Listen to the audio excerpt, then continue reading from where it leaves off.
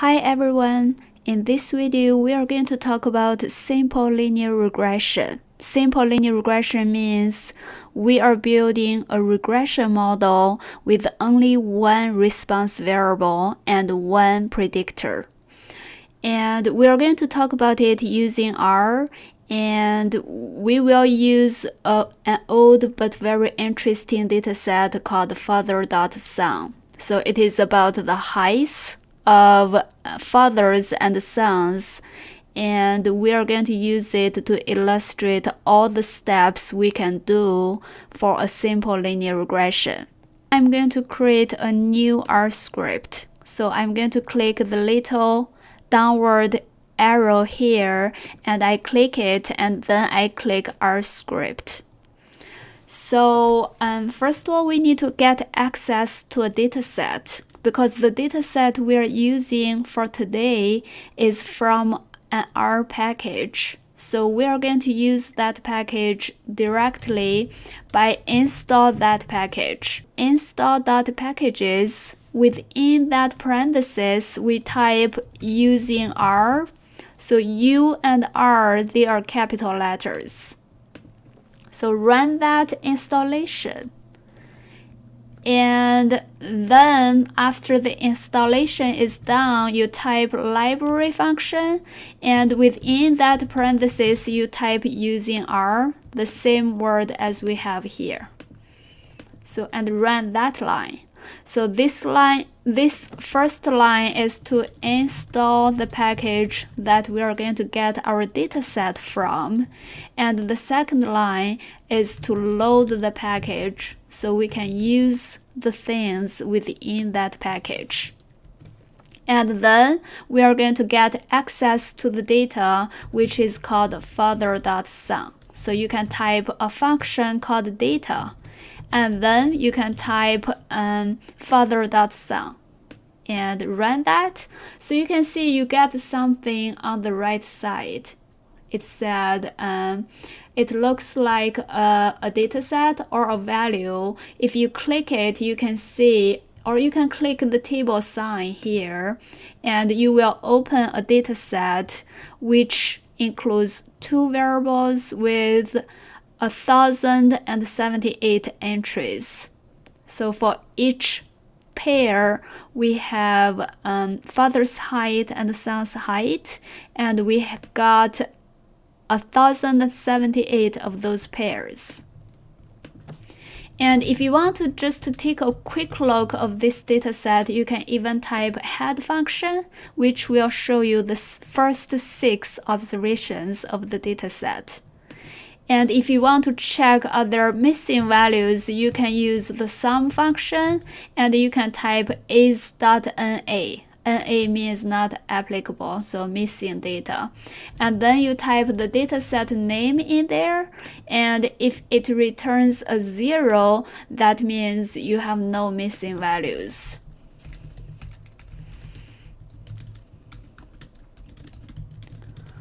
So is.na returns zero means there is no missing value. If you do a summation, that means all the cells are not missing.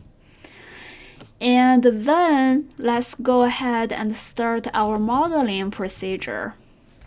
The first step here, we want to explore the data first. Looking at the data, checking other missing values, those are the first step of exploration. But if you want to explore it in the sense of simple linear regression, you may want to explore the correlations of the two variables the heights of fathers and sons. So that's our start, step one. And you can explore this by calculating the correlations of the two numerical variables, or you can draw a plot. So if you want to calculate the correlation, you can just use COR, which is a function for calculating correlation coefficient. You can do COR and if you look at the data set, you can just type father.son. And that will give you the correlation coefficient like here, 0.5, which is not a very strong linear correlation. it is not strong. And also you can type something like this father dot son dollar sign father's height and then father dot son son's height. So that's a correlation function which is um, often used in this way in the in the syntax that you type one variable and then the other variable. So you will get the same result here as here. So when you put a data set in the parentheses, you are actually getting the correlation coefficient of each pair, even including themselves. But we actually only have two variables, so we can just do the correlation of the two variables and get a single number. And the second step, you can do some visualization. In this video, I will only show you a very simple plotting function, which is called plot. And you can type um, the same syntax as correlation. Like you can type father dot son father height, father dot son son height and then you can run that line and you can see the graph is actually drawn on the right corner and you can zoom that picture and you can see there is some kind of linear correlation. Like as the father's height goes higher the son's height is um, larger. And there is an upward trend. There is another way for drawing the plot. Like you can draw the plot as in son height and then the, the delta and then father height and then let the data equals father son. So that means you pick up the variables and then you, you specify which data set you are talking about. And then you can write, you will get the same graph with the father's height on the bottom on the x-axis and son height on the y-axis. So since we explored its kind of linear upward trend, maybe we can start building a model. Use LM function and we use y tilde x and then comma data equals the dataset name. So this is the syntax for building a model, especially for simple linear regression model when you have only one predictor. And for our dataset, uh, we are going to use father's height to predict the son's height. So we are going to put son height first and then father height and then we specify the data equals father son. So you can see it here. The syntaxes are so similar. The correlation function, the plot function, the LM function, we are using something very similar. And if you run this LM line, you are getting two coefficients estimations. So the first one is intercept, the second one is slope. And once you get these two results, that means you are getting a formula which is um, which you can think of it as son height equals 33.88 plus 0.51 times father height. So that's the formula that we are actually looking at and which describes the upward trend. So this is the simple linear regression model that we turned out to have. And this model can be used in this sense. For example, if I tell you a man or a father, his height is 70 inches. Then you can actually use this formula to predict the son's height, which can be calculated using all this information but times 70. So which you can also get the value directly by doing the calculation. So if I um, do the calculation on the bottom here, it's like a calculator. You are getting 69.58. So that means you can go ahead and make that prediction about if the if father's height are 70 inches, then the son's height on average probably will be 69.58. So that's how we use a simple linear regression model. Like I can name this model as model 1 and I assign it to be the simple linear regression that we just built. And run that line so my model 1 is defined. One thing you can do is to add the model line to the graph so that you can see it clearly like how well that model line is describing the pattern. So you can do add line model 1. Add line is for adding the line to the scatter plot.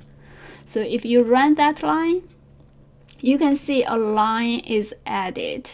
That straight line is added on the dots and you can see it describes the general trend like general upward trend as father's height gets larger the son's height is larger and another thing you can do is to run the summary function on model 1. The summary function actually gives you all the detailed informations or, or it, at least the, all the important informations of a simple linear regression model. So you can see it talks about residues. It talks about the coefficients estimations, including the test results, the p-value, for whether they are being zero or not. And it also talks about the R squared value, which is a very nice tool for checking like how well your model is and you can see all the informations are here. If you ever want more details about simple linear regression you may want to look at this summary results and then you can get the information there. The last step for um, for a simple linear regression model is to test on the assumptions. I didn't talk about in the beginning but linear regression models has their specific assumptions. For example, we want the linearity between x and y. And we want the residues to be normally distributed. Normally distributed means there is no specific patterns in your residues. And also, we want constant variance. Constant variance is like um, as your x gets larger, you are not seeing a more spread out pattern along the line. Like it's like you're not seeing something that is getting wider as x goes get, gets larger. And um, so those are the three major conditions or assumptions of a simple linear regression model, and you may want to test on them by drawing graphs. So one quick way is to just plot on the model 1 that we defined. So if you run that line, it said hit return. So you can click return and you can see there are graphs shown on the right side. So you can see um, there is there is a red line which is showing you the residuals versus the fitted values. And then if you click return again, you are seeing the normal QQ plot, which tells you about the normality of the residuals. So if all the dots are along the straight dashed line, that means normality is good. And if you hit again, you can see there are other graphs. There are a total of four. And if you want to check on the conditions by yourself, you can definitely draw graphs on linearity. using the plot function or you can use QQ norm on the normality of residues and you can check same thing using the plot function you can check the constant variance. I hope you enjoyed this video and um, you will be excited to learn more models with me. Thank you.